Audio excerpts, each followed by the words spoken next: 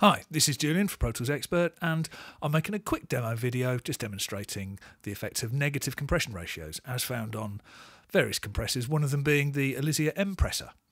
What I've got here is I've got a 1K sine wave uh, with a linear fade applied, runs for about 10 seconds, and the threshold of this compressor is set to be approximately halfway down uh, the level of the fade. You'll see what I mean. Uh, I'll just play it through with no dynamics applied, so you can hear the file with nothing on it.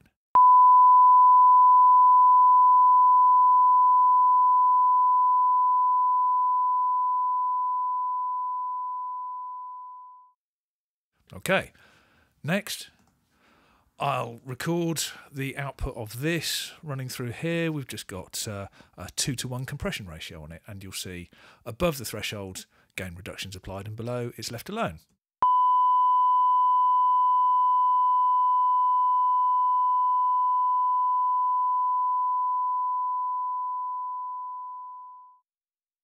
Like so.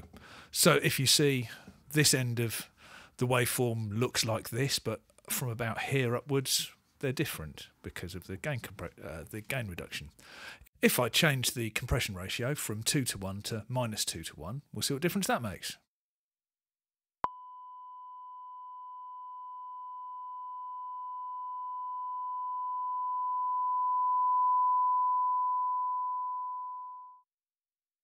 And you can probably hear and see that uh, below the threshold, everything's as it should be and the waveforms are the same. But above the threshold, rather than just not allowing the signal to get any louder, it actually turns it down. Um, interestingly, if we zoom right in on the front, we still get the attack phase come through, and then it rather than it just being stamped on by the gain reduction, it gets absolutely destroyed by the gain reduction, which is quite interesting because it's the most pronounced uh, use of attack that you can you can get. I think. Um, let's try it on something that's uh, slightly more musical. So here I have, if we have a look here, I have a bass guitar, nothing on it.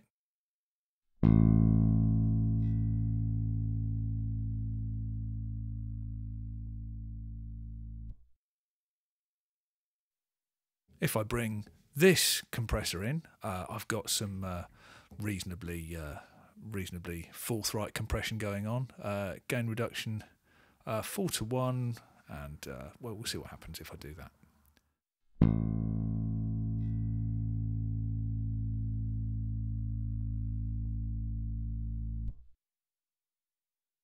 However, if we have a look at this one, uh, I've got a minus 4 to 1 compression ratio.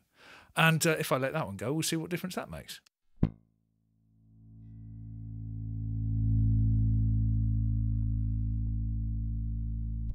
And you can hear that similar effect again of the attack portion coming through and then it getting pretty much pretty much switched off altogether by the negative compression. And then uh, fading back in and giving that kind of backwards effect. Just have a listen to that again.